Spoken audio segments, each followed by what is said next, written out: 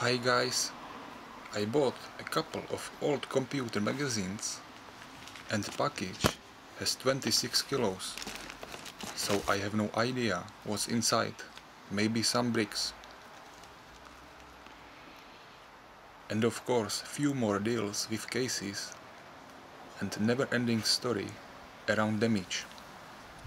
So let's go for it.